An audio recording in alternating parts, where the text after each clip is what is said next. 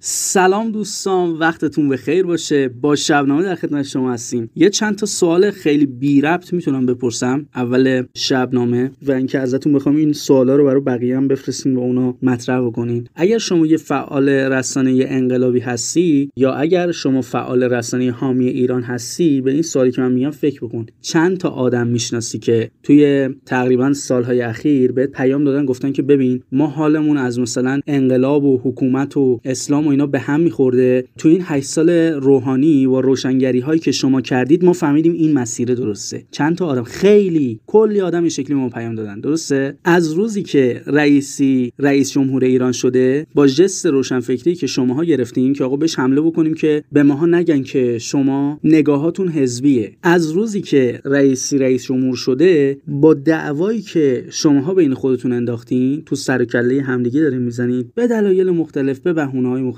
از روزی که رئیسی رئیس جمهور شده با قفلتی که شما از جریان غربیرا و از دشمن دارید از خودتون نشون می‌دید چند نفر نسبت به مسیر شما که مطمئن شده بودن دچار تردید شدن؟ چند نفر خودتون با رفتارتون دچار تردید کردید؟ یه فکری بکنید به این داستان. ببین اصلا می‌خوای سناریو رسانی داشته باشی؟ یا نه قرار 4 سال بعد دوره یکی مثل روحانی با 250 هزار تا به خاطر اشتباه رسانه‌ای شماها برگردن مردم سوار بشه و باز دوباره 8 سال پشت دستتون بزنید؟ چون با رسانه خودش نگه خواهد داشت. با رسانه خودشون رو نگه میدارن سر قدرت مثل حسن روحانی. و شما 8 سال تلاش خواهید کرد دوباره که مردم آگاه کنید رفقا به این حرف من فکر بکنید آینده ای می‌تواند نزدیک باشد یه خورده تحمل بکنید. روی رفتارهایی که الان داره اتفاق میفته کاش چهار تا بزرگتر پیدا می‌شدن. از این مدیر مسئول روزنامه ها بگیر تا برسیم به سردبیرها و اونهایی که ستون نویس این روزنامه های جریانات انقلابی هستن. آقا حواستون هست؟ شما اصلا هیچ سناریو رسانه‌ای ندارید بچه‌هاتون توی توییتر افتادن به جون همدیگه تو سر کله همدیگه دارن می‌زنن و پیامدش برای ایران خواهد. حالا بشینید نگاه بکنید ببینید که چه چیزهایی می‌تواند به خاطر غفلت امروز و به خاطر سیاست رسانه‌ای نداشتن امروز دامن ایران رو بگیره. خیلی خوب بگذریم آقا. بذارید تو سر کله خودشون بزنن. ما با اینا کاری نداریم. برنامه خودمون رو شروع می‌کنیم. امیدواریم که اینا هم سرشون به سنگ بخوره حواسشون باشه بدونن که چه فاجعه‌ای داره اتفاق میفته دوستان خیلی مخلصم. یه گزارش می‌خوام براتون بخونم. گزارشی هست از یک تحلیلگر مشهور عربی عبدالباری عطوان یک گزارش رو نوشته. این گزارش در خصوص اتفاقاتی هست که در امارات داره میفته. فوق العاده است. من این گزارش رو خیلی دوست دارم. در انتهای گزارش اومده گفته که ببین فکر نکن که تو الان داری این مسیر رو میری. آمریکا میاد کنارت. وای میسه کمکت می‌کنه. آمریکا کسی است که پشت عربستان رو نگرفته پشت بقیه رو نگرفته. تو هم ول می‌کنه میره. و این یک واقعیتیه. آمریکا ثابت کرده که اگر یک میدان تقابلی تعریف شه که یک طرف این میدان تقابل ایران یا یاران ایران باشه او عقب نشینی خواهد کرد. او از مسیری که تعریف کرده عقب نشینی خواهد کرد. علتش هم این هست که اینا فهمیدن. ایران در هر حوزه‌ای که به چالش کشیده بشه ضربه رو با ضربه پاسخ میده. به قول حضرت شاعر شوخی است مگر بزنید بروید نمانید. من ایرانم. ولت نمی‌کنم که. اشتباهی اگر تو این منطقه علیه من بخوای انجام بدی هزار سالم که بگذره من وسط این میدانه هستم و پاسخ خواهم داد. حالا اینها این رو فهمیدن. میگن اون چیزی که اتفاق میفته یه رفتاری از جنس ایرانه. نه که ایران پشت این داستان ها لزوما این شکلی نیست حرفی که من دارم خدمت شما عرض کنم رفتاری از جنس ایرانه. او مقاومت منشانه داره رفتار می‌کنه. میگه آقا این ضربه که زدی رو من پاسخ میدم. آمریکا رو می‌خوای بیاری وسط میدون پاسخ بده؟ میری میگی من با وزیر دفاع آمریکا صحبت کردم. به پایگاه آمریکا خودم تو کشورت حمله می‌کنم. ببینم آمریکا چه غلطی می‌خواد بکنه. رجز نخونید برا ما. نترسانیدمان از مرگ. ما پیغمبر مرگیم. بریم آقا بریم گزارش رو بخونیم. من خیلی نمی‌خوام توضیح بدم. از اون متن دوست دارم براتون بخونم. انقدر متن فوق العاده است که اصلا نیازی به توضیحات من نداره. ابتدای متن عبدالباری عطوان میگه که امارات و عربستان از دخالت نکردن نیروهای آمریکایی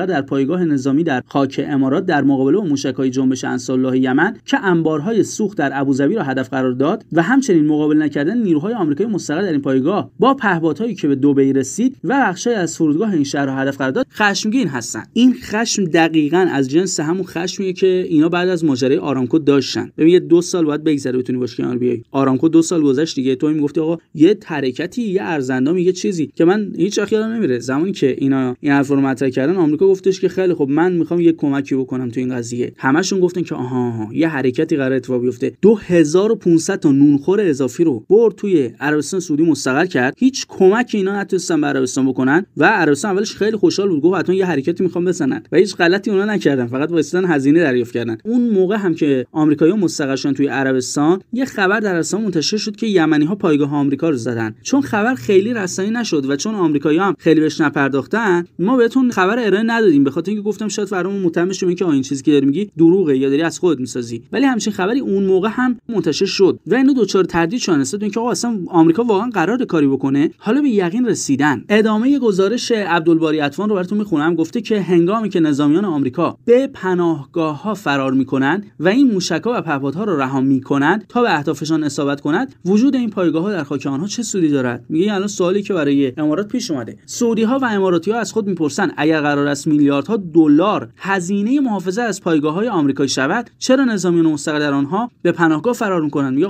شما 13 تا سامانه پاتریوت ورشی گذاشتید تو پایگاه نظامی آمریکا کنار ابوظبی. سری اول که هیچ کدوم شلیک نکرد. سری دوم که یمن اومد پایگاه رو بزنه اینا اومدن تازه فعال شدن. یعنی چی؟ یعنی تو سامانه گذاشتی برای پایگاه خودت. اصلا بعد دفاع از من نذاشتی که. بعد نکته مهمتر تو این همه سامانه گذاشتی برای دفاع از پایگاه خودت دمت هم گرم. خود خب چرا سرباز رفته تو پناهگاه؟ چون هر چیز ساختی سرکاریه. در مقابل اراده یاران مقاومت تو هر چیزی که ساختی سرکاریه. حالا ابراز نگرانشون چیه؟ مثلا آمریکا دفاع بکنه یا دفاع نکنه ابراز نگرانشون چیه؟ میگه آنها از این بابت نگران هستن که اقتصاد امارات بر اساس امنیت و ثبات استوار است. و اگر امنیت و ثباتش رو از دست بده اقتصادش نابود میشه. اقتصادش نابود بشه این کشور نساخته که. اونجا یه ملت نیستن که در نهایت بگن آقا ما میسوزیم می‌سازیم کشورمون رو درستش می‌کنیم. نه یه هتله. یا مش آدم اومدن تو این هتل آبش قطع بشه برقش قطع بشه خدماتش ضعیف بشه میپیشن به بازی میرن یه نقطه دیگه. خیلی از دوستان من میگن که آقا اشکالی نداره. ایران هم مثل اونجا هتل بکنید. عزیز من وقتی کشور تبدیل شد به هتل دیگه شهروندان سابق خودش نداره. عمده افرادی که الان در امارات هستن از کشورهای دیگه اومدن ملیت‌های دیگه انسان‌های دیگری هستن. دور هم جمع شدن. یه کشور تشکیل شده اونجا. روی هویت این افراد که اینا یه هویت سابقی دارن تو خدمات توی خورده کم بکنی میپیشن به بازی میرن و اونجا یه بیابان میمونه. و حکامی که اونا هم دلشون برای کشور نمیسوزه. اون این همه دارایی جمع کرده اون خودش هم ول می‌کنه میره اروپایی آمریکایی در یک نقطه دیگه زندگی می‌کنه. حالا اماراتی ها دارن احساس می‌کنن که نه آقا این تهدیده می‌تونه جدی بشه. ببین یه نکته رو گفته خیلی جالبه میگه که من اتفاقا به این خیلی فکر کردم. من نکته برای این ندیدم. یعنی نمی‌دونم چرا اصلا هیچ کسی به طور جدی توی رسانه ها این رو مطرح نمی‌کنه. ببین میگه که این پهپادها و موشکا 1500 کیلومتر رو آسمون بودن و میگه این مسافت خیلی طولانیه. چرا تو این مسافت طولانی هیچ اقدامی برای مثلا زدن اینها انجام نشده؟ یعنی مثلا هیچ شلیکی هیچ چیزی. نه از این جدوی که چرا تو نتونستی موشکا رو بزنی یا میگه فاصله خیلی زیاده. تو این فاصله فرصت برای مقابله باید به وجود میومده دیگه. بعد این ضرب المثل رو اومده مطرح کرده گفته که سرمایدار ترسو هست و با نخستین گلوله و موشک فرار خواهد کرد. بعد مثال زده گفته که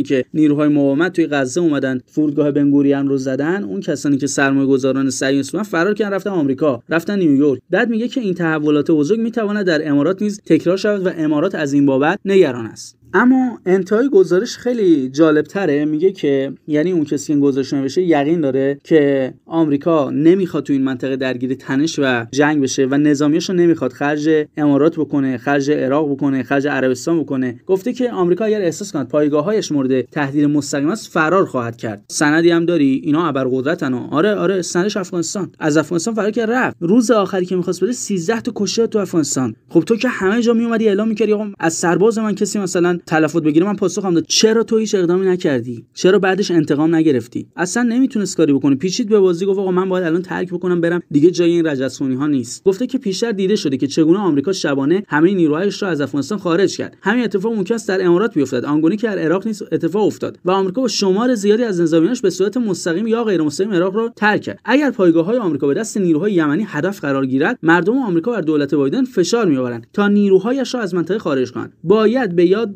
آمریکا همه سامانه پاتریوت را از دو منطقه مورد هدف قرار گرفته در عربستان خارج کرد. میگه آقا اون زمانی هم که فشار توی عربستان زیاد شد اینا پیچیدن به بازی و رفتن. اسرائیلی ها به شدت نگران این هستن که آمریکا پشت اونا هم خالی بکنه. چهل سال اومدن با ایران جنگیدن. من الان دارم با یک جامعه ای صحبت می‌کنم که این جامعه عصبی است. جامعه ایران عصبیه. کسی این چیزی که من دارم میگم درش تردید داره. مردم کلافن. چهل سال آقا توی این سال آخر که دیگه اصلا ما درگیر یک جنگ اقتصادی با ناکارآمدی داخلی ها. نگیم که آقا مثلا به خاطر آمریکا باید بری با گفتگو با آمریکا حلش بکنی. اخیرا جلسه دادگاه برگزار شده. تو بخشی از جلسه طرف اومده مستندات ارائه داده. گفته یه مبلغی بوده. من اگر اشتباه نکنم حدود 20 میلیارد تومن. این مبلغ تو حساب پدرخانو آقای روحانی و برادر آقای روحانی و یک نفری که تو اون پرونده متهم است دست به دست می‌شده. ببین خب یه بخشش اصلا ربطی به آمریکا نداره. اینو دیگه آمریکا دست به دست نمی‌کردی که ناکارآمدی داخلی و حتی فراتر کسافتکاری داخلی بوده. حالا من دارم با یک همچین جامعه که الان کلافه است. از همه اینها کلافه صحبت می‌کنم. حرفی که می‌خوام بزنم اینه. رفقا این مسیری که ما انتخاب کردیم ببین من چقدر این جمله رو گفتم مرور بکنید. ببین اون مسیره بعد از جمله‌ای که من بارها تکرارش کردم تا امروز چه تغییری کرده و این تغییر به چه شکل بوده. مسیری که ایران انتخاب کرده است در منطقه‌ای به نام خاورمیانه مسیر درستیه. آنهایی که در مقابل شما ایستادن تو حوزه امنیتی سیلی خوردن تو حوزه نظامی سیلی خوردن تو حوزه اقتصادی هم سیلی خواهند خورد. و به یاری حضرت الله ایران بر چالش هایی که مردمش باش روبرو شده پیروز خواهد شد. اگر موافق باشی من این ویدیو رو همینجا متوقف می‌کنم. دیروز من در شبنامه اومدم توضیحاتی به شما ارائه دادم درباره بحث مذاکرات. دیدم که بعضی از دوستان گفته بودن که چی شده؟ شما مدافع مذاکرات شدی. آقا اگر مخاطب من نبودین من خدمت شما عرض بکنم که همون موقعش هم که آقای روحانی می‌رفت مذاکره می‌کرد من موافق مذاکره بودم. خیلی از دوستان ممکنه مخالف باشن بنده موافق مذاکره بودم. من تا تاکیدم بر این بود که این مذاکره تو باید بتونی با عزت انجامش بدی. این نکته یکی دیگه از دوستان در پیامش گفته بود که آقای من یه سال چندین بار پرسیدم. تو هیچ وقت پاسخ ندادی. مگه رهبر نگفته بود اگر اینا از برجام خارج بشن ما آتیشش می‌زنیم؟ چرا ایران این کار نکرد؟ آقا یه سوال. ما اگر بخوایم برجام آتیش بزنیم چجوری می‌تونیم آتیش بزنیم؟ مختصات آتیش زدن برجام یعنی چی؟ اینو اول برای خودمون حلش بکنیم بعد بررسی بکنیم ببینیم برجام آتش گرفته یا نه. ببین آمریکا در روزهای آخر یعنی امتیاز به ما نداد. سیمان هم ریخت تو راکتور عراقمون. بعد اون لحظه آخر از برجام رفت بیرون. چرا این کاری کرد؟ این کاری کرد که تو از برجام بری بیرون. یعنی فرض آمریکا این بود که من میگم برجام آتیش می‌زنم میام جلو دوربین برجام آتیش می‌زنم منقل آقای روحانی و برادرش حسین فریدونم میارم برجامو میندازم تو اون منقله آتیشش می‌زنم برجامو میندازم تو اون منقله و ازش میرم بیرون. تو چه شرایطی؟ میگفتش که خب اگه این کارو بکنه خوبه دیگه چون الان زمانی هست که تحریم تسلیحاتیش می‌تونه برداشته بشه. پس من اگر تحریکش بکنم امتیاز بهش ندم راکتورشم سیمان ریختم توش خارج بشم اونم تحریک بشه خارج بشه این تحریم تسلیحاتی برداشته میشه. ایران هم اینو می‌فهمه دیگه ما رهبرمون دی دو تا چهار تا کرد. گفت ببین آتش زدن برجام از نظر من این نیست که ببخشید ساده بگم ما رو جو ما از برجام بریم بیرون. نه آتش زدن برجام از نظر ما این هست که در حوزه هسته‌ای به یه نقطه‌ای برسونم کشورمو که تو فریاد بزنی بگی این فقط دو سه هفته با اتمی شدن فاصله داره. حالا یه سال من برجام آتیش زدم یا نه؟ من برجام رو به شیوه آتیش زدم که دودش رو به چشم دیدن. اونجایی که فریاد می‌زنه میگه که ایران دو سه هفته دیگه می‌تونه اتمی بشه و باید تلاش بکنی بیاریمش توی برجام. خب دیگه ببین من هم تحریم تسلیحاتی برداشته شد و هم به گفته خودت یه جوری از برجام خارج شدم که تحریم تسلیحاتی اولا برداشته بشه. تو بهونه نداشته باشی اینو برنداری. دوم من هسته‌ایمو فوق العاده فعال بکنم. سوم برم به سمت غنیسازی 60 درصد و مسیر خودم رو هم در حوزه اتمی ادامه بدم. این اگر آتش زدن برجام نیست پس چی؟ من امیدوارم که این موضوع رو فرصت بکنیم یه بار مفصلتر در صحبت بکنیم و به این مسئله بپردازیم.